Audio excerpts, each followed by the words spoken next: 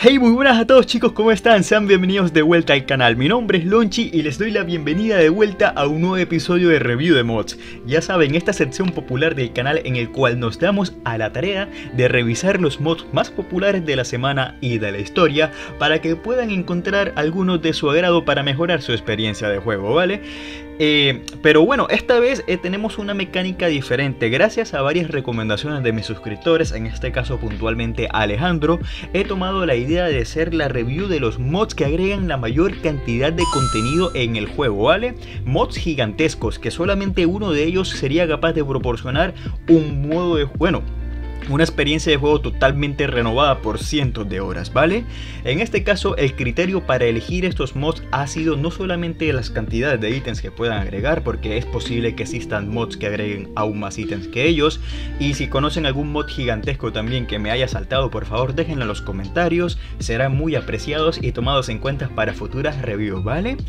En este caso, la criteria no solamente va en eso, sino también en la cantidad de experiencia de juego que te pueden proporcionar, ya sean con personajes, con salas, mecánicas, ítems, trinkets, eh, desafíos, entre muchas otras cosas, ¿vale? Todo eso está siendo tomado en cuenta. Un anuncio, un anuncio especial antes de comenzar el día de hoy es que hemos activado de los miembros del canal muchachos.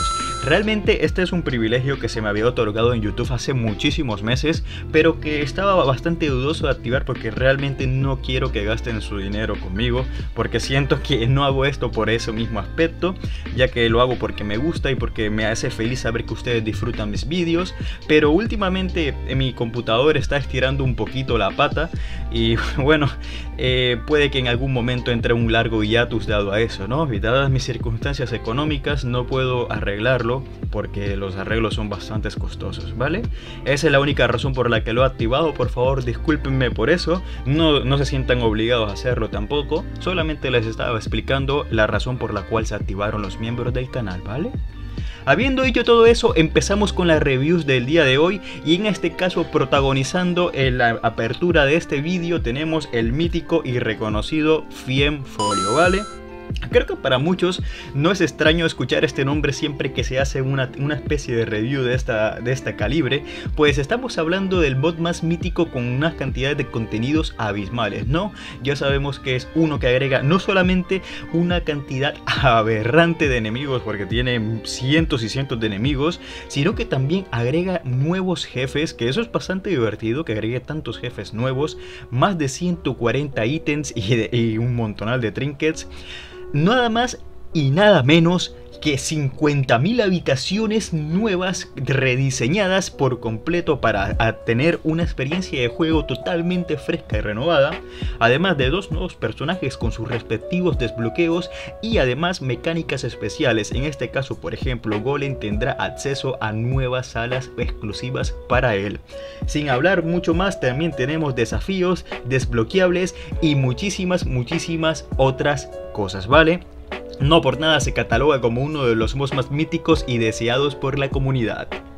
En nuestro segundo mod del día muchachos tenemos el The Binding of Isaac Deliverance.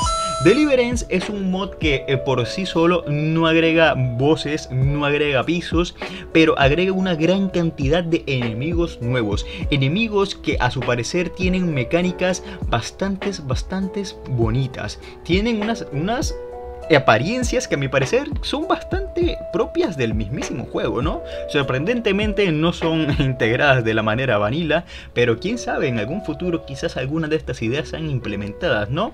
Adicionalmente a eso, el mod por sí solo incluye más de 900 habitaciones nuevas. Ojo, no hay que confundir pisos con habitaciones, ya que es algo completamente diferente. También agrega una gran cantidad de trinkets, pickups, secretos sobre todas las cosas, que es lo más interesante de esto. Y por si fuera poco, agrega nuevos eh, nuevas cartas, corazones y píldoras, ¿vale? Es un mod que en lo personal me gusta porque a diferencia del Folio, gracias a que no tiene un contenido tan amplio, su lag es muchísimo menor, ¿vale? En nuestro tercer mod del día muchachos tenemos otro mítico de la comunidad, como no, tenemos The Binding of Isaac Revelations capítulo 2. Este mod es muy conocido, diría yo que es de los más antiguos, de los pioneros de la comunidad de los mods para eh, The Binding of Isaac, pues incluye para empezar en esta expansión, nada más y nada menos que dos pisos completamente nuevos con unas mecánicas abrumadoramente interesantes. Tenemos los glaciares y tenemos también las tumbas. Estas dos salas se pueden acceder de manera eh, normal, como si fuese un iPad eh, casual, ¿no? Como cuando accedemos al iPad eh, para ir a por Modern, bueno, de esta manera también se va a poder acceder a estas salas con muchísimo contenido nuevo. Adicionalmente a eso, hay que aclarar que también tenemos, obviamente, nuevos bosses, tenemos también nuevos eh, jefes, nuevos enemigos, nuevos ítems y trinkets, mecánicas, secretos, pero también tenemos dos nuevos personajes, completamente con una, cantidad de desbloqueos para poder tener más experiencia de juego y adicionalmente es otro mod que también he considerado que tiene aún menos lag que la mayoría de sus competidores, ¿vale? Por esa razón me ha encantado y lo he traído para las recomendaciones de hoy. En nuestro cuarto mod del día muchachos tenemos el nada más y nada menos conocido como Repentance Plus. Este, a diferencia de los otros, no incluye nuevos personajes, no incluye nuevas salas ni nuevos enemigos. Sin embargo, la cantidad de contenido que agrega es de destacar, ¿vale? Pues gracias a él vamos a tener la capacidad de tener nuevos desbloqueos en los huecos que están en los personajes actuales del juego. ¿Qué quiere decir con eso, Lonchi? Bueno, es normal que para nosotros nos frustre la idea de que varios personajes no tienen respectivos desbloqueos por ciertos jefes, ¿no? Eh, un ejemplo básico de esto podría ser simplemente como Tainted Judas, por ejemplo, no tiene ningún desbloqueo a la hora de ir a por eh, eh, la catedral o de Sheol. Bueno, gracias a este mod vamos a tener todos esos huecos llenos con nuevos desbloqueos en los cuales se incluyen una gran cantidad de ítems, trinkets, cartas, píldoras, nuevos corazones, que eso es muy interesante. La vida es uno de los aspectos que más me gusta que toquen del juego. Y por ejemplo también variantes tanto como Vegars y muchas otras cosas, ¿vale? Es un mod que siempre ha destacado, es bastante encajable en cualquier paquete de mods y por esa razón se los he traído a ustedes el día de hoy. Como siguiente recomendación muchachos tenemos Retribution. Retribution, a diferencia de los mods anteriores, y he de decir que esto es algo que me ha sorprendido, es el mod con más ítems en el juego, ¿vale? Que agrega más ítems, inclusive superando a Folio con más de 190 ítems, ¿vale? Adicionalmente a eso, el juego, eh, bueno, el mod, disculpen, agrega una gran cantidad de mecánicas nuevas, dos personajes bastante interesantes en los cuales tenemos a Ícaro y a Mamón, como, bueno, si lo bien saben, Ícaro es un ángel caído y Mamón es un demonio de la corte del infierno, quieren descubrir las mecánicas que incluyen muchachos, les apuesto que les van a encantar porque he probado el mod en muchos de mis directos y ha sido muy increíble. Adicionalmente, está desarrollado también por el grupo de desarrolladores del Fienfolio, así que esperen bastante calidad en este mod. Como sexto mod del día muchachos tenemos el The Binding of Isaac Epiphany. Catalogado como uno de los mejores mods de su categoría, pues agrega no solamente personajes nuevos, porque no lo son, sino versiones aún más corruptas de los ya existentes, ¿vale? Tenemos entre eh, eh, como epítome de este mod los Tarnished Characters. Son personajes aún más corruptos que los Taintes, pobres de ellos, han pasado por unas situaciones muy difíciles en los cuales vamos a tener una nueva travesía por delante en la cual vamos a tener que vencer de nuevo todos los enemigos del juego, vamos a conseguir nuevos desbloqueos que entre ellos hay cosas muy muy interesantes que he decidido agregar también como una parte de mis series casuales, pero estoy viendo muy bien cómo encajarlo. Ya saben que la PC mamalona está a punto de morir, así que he de tener cuidado con la cantidad de contenido que agrego en mis mods. Ya saben que todavía sigue siendo un mod en desarrollo, van poco menos de la mitad de los personajes agregados, pero esperen mucha calidad de este mod, ¿vale? Como nuestro siguiente mod del día, muchachos, tenemos nada más y nada menos que Eclipset. Eclipset es un personaje, eh, bueno, es un mod que agrega dos personajes nuevos de la mano a todos sus respectivos desbloqueos, con una buena cantidad de trinkets, una muy buena cantidad de consumibles, tres nuevas desafíos, nuevos baggers y nuevas cosas, pero sin embargo es bueno, eso sonó bastante horrible. Sin embargo, lo que más, eh, lo que más destaca de este mod es que agrega más de 16 maldiciones nuevas con respectivos trinkets para contrarrestarlas. Eso es una mecánica de juego súper novedosa e innovadora. Adicionalmente, el arte de los personajes es bastante astral. Ustedes saben que el aspecto astral me encanta. Es por eso que soy fanático de muchos mods de la categoría, ¿vale? Basta decir que con este mod vas a tener muchísimas horas de juego, así que sin más nada, les recomiendo que se lo descarguen, ¿vale? Como nuestro octavo mod del día muchachos tenemos Starfall. Starfall, al igual que sus predecesores mod de esta, de esta review, tiene dos nuevos personajes, nuevos ítems, trinkets, consumibles, corazones, cofres, desafíos, monstruos y habitaciones.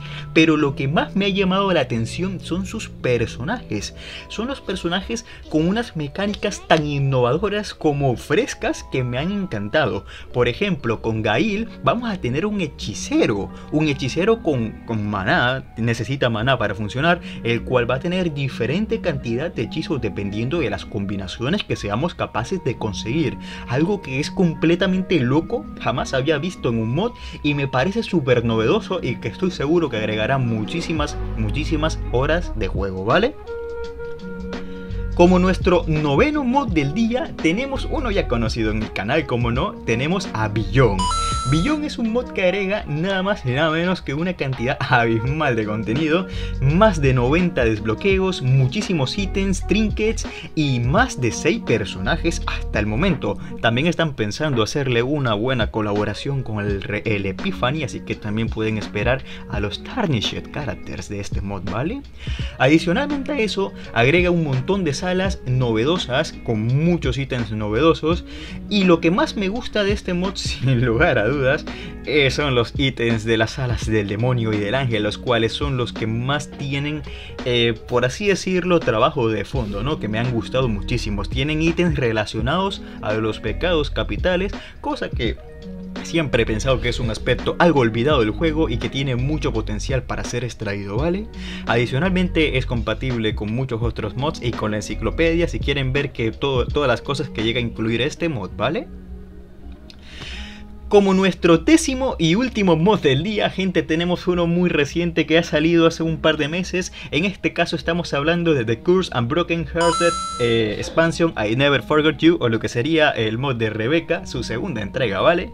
Como bien saben, este es un mod enfocadísimo en un único personaje, pero un único personaje con muchas personalidades, ¿no? Cada personalidad puede ser interpretada como un personaje nuevo, y bueno, hablamos de una chica que tiene más de 8. Sabemos que es una alocada enamorada de Isaac y cada una de sus personalidades tiene sus respectivos desbloqueos, ¿no? Tenemos cientos de ítems, tenemos cientos de consumibles, tenemos cientos de pickups y mecánicas nuevas por desbloquear con ella, cada una de sus personalidades aportando una experiencia renovada y fresca de juego y adicionalmente es decir que emula mucho el concepto, ¿vale? Bueno muchachos, eso ha sido todo por hoy, pero no, eso es lo que ustedes creen. Tenemos menciones de honor a, algunos mods que, si bien tienen contenido bastante para disfrutar, no han llegado a entrar en el top porque aún así no tienen la criteria completa para ser considerados como, bueno, eh, mods de aquí, ¿no? mods que agreguen tanto contenido. Entre ellos tenemos primero el Heaven's Skull, como bien saben, es un mod que agrega las salas de desafío astral, unos desafíos en los cuales vamos a luchar contra los jefes representado representando a cada uno de los ítems de planetario y a un jefe especial que nos puede dar ítems de planetario corruptos. Son muy muy buenos los jefes, muy divertidos. Estoy seguro de que las mecánicas les van a encantar. Yo me emociono personalmente siempre que encuentro a uno. Y bueno, eh, estoy seguro de que lo van a gozar muchísimo, ¿vale? Y como nuestra siguiente mención de honor, como no, no podemos dejar detrás a The Future. The Future es un mod muy increíble que agrega un tributo a otro de los juegos de la franquicia de Edmund, en este caso The Yen is Night, agregando una nueva sala que se puede acceder a partir de lo que sería las cuevas o las minas, en el cual nos tenemos que meter en la boca de un, de un buen, bueno, diríamos que es un monstruo futurista, eh, eh, un Steve monstruo por decirlo de alguna manera, y junto a él vamos a entrar a una nueva sala con unas mecánicas, banda sonora, enemigos, ambientación muy increíbles. Lastimosamente es una única habitación, así que su experiencia no va a ser tan cambiante de juego como los demás mods, pero aún así sigue siendo igual de increíble, ¿vale? Bueno chicos, eso ha sido todo por hoy, discúlpenme que el top haya quedado un poco más largo, es que estos mods tienen mucho de qué hablar y lo he intentado resumir en la medida de lo posible, pero siempre me llevo bastante tiempo. Ya saben que si alguno de los mods les interesa para una review, basta con decirlo y los martes le haremos una review más extensa, ¿vale? Espero que lo hayan disfrutado, de ser así ya saben dejen su me gusta, compartan con sus amigos, comenten sus ideas, suscribiros si no lo están y nos vemos en la próxima con mucho más, ¿vale? Soy Lonchi y nos vemos.